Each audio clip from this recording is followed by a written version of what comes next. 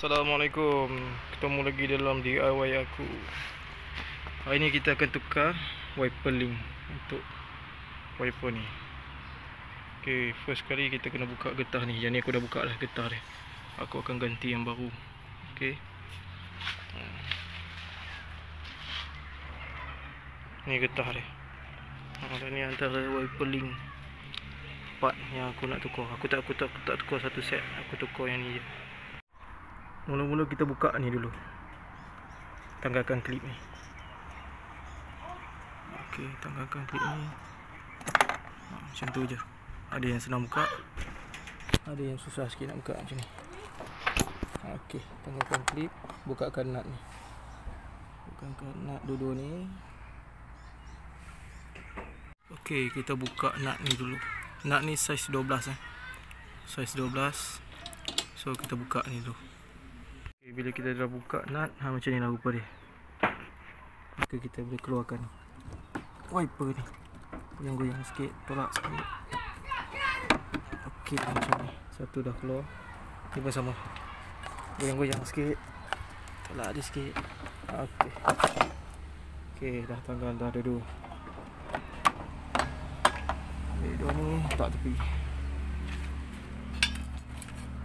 Dah buka dua-dua wiper ni kita dah boleh tanggalkan yang ni. Ha. keluarkan dia. Nampak? Keluarkan dia. Ha, macam tu rupa dia. Dah kita keluarkan. Yang ni tak tepi.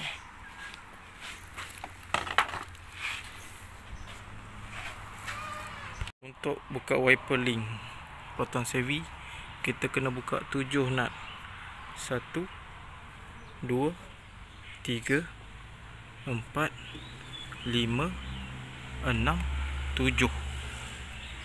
Saiz nut untuk kita buka ni ialah 10 mm ok 10 mm so kita buka dulu.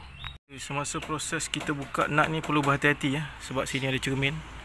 So jangan sampai terlanggar cermin ni nanti boleh pecah. Bila pecah ha, itu risiko sendiri ya Okey, macam ni bila kita dah buka dia punya cover. Okey. Ni wiper link. So, kerosakan pada CV saya ha ni. Dia dah longgar kat sini. So, bila movement bergerak dia akan ada overshoot. Maknanya wiper akan terkeluar daripada cermin. Jadi saya akan tukar benda ni dengan yang panjang sekali. So, nak buka ni kita kena buka sini satu nut. Ni satu nut. Dan juga dua nut kat depan ni. Itu saja rasanya Okey, macam ni lah rupa wiper link yang kita dah keluarkan. Okey. ha, ni kita kena tanggalkan tu. Ha, tu motor dia. So yang ni yang kita akan tukar. Okay, sebelum kita tukar wiper link yang panjang ni dengan yang pendek kita kena tengok dia punya orientation. Ok orientation yang baru dengan yang lama. Jangan tersalah pasang so yang ni aku tak tukar baru. Aku cuma tukar yang ni dengan yang ni. So tengok pada zahir dia memang kotor. Jadi kita bersihkan dulu apa yang patut Okey, untuk yang ni aku tengok senang je nak tanggalkan dia. Dia just clip. Tolak dia macam tu. Ha, dah boleh tanggal. Saya keluarkan satu. Ada lagi dua ni. Sini dengan sini. Okay, ini wiper link yang aku dah cuci dah servis. Okey. Nampak bercahaya sikit lah rupa dia. Okey. Kita akan pasangkan. Okey, dua benda ni pada sini.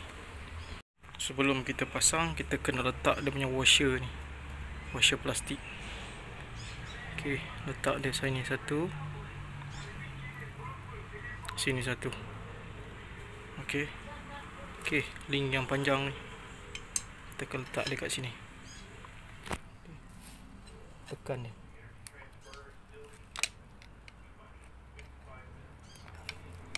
Oh, ketat juga. Okey. Ini dengan sini. So untuk pasang ni aku akan stop dulu. Okey, kita dah berjaya pasang satu yang panjang. Dan kita akan pasang yang bawah pula yang ni. Okey. Untuk pasang yang ni aku punya getah ni dah dah pecah. Jadi kita pakai balik lah apa yang ada. Ha, yang pendek ni jangan salah. Yang ni sambung ke wiper link. Ha, yang bawah ni sambung ke motor. Okey. Kita pasang dia macam ni. Pasang macam ni. Tekan je dia.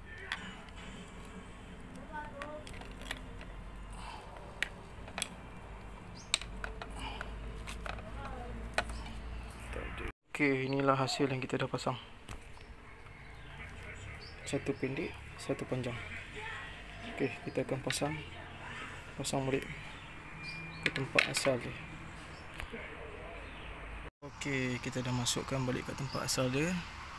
So mari kita pasang skru dia. Kita pasang nut dia. Jadi bila kita dah pasang empat nut ni,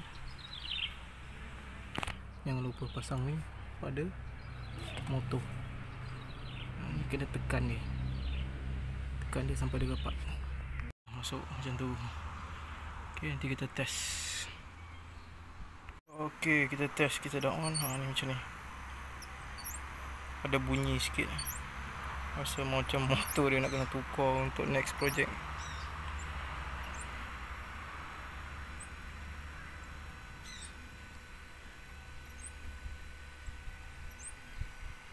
Pasang ni kita akan pasang balik kabur dia.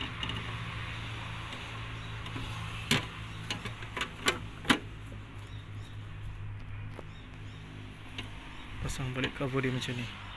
Ha, macam tu. Ok bila kita dah pasang dah cover dia kita akan pasang satu lagi cover plastik. Cover plastik tu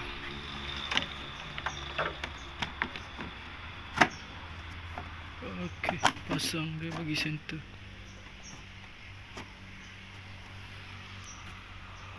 Akhir sekali kita akan pasang getah untuk proses ni lah.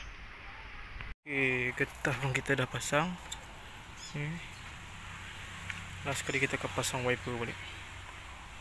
Okey, setelah kita pasang wiper dan kita test ha, macam ni lah keadaan wiper sekarang dah tak ada overshoot lagi. Semoga DIY kali ini membantu anda membuat pemasangan web link secara DIY. Sekian dulu, terima kasih. Assalamualaikum.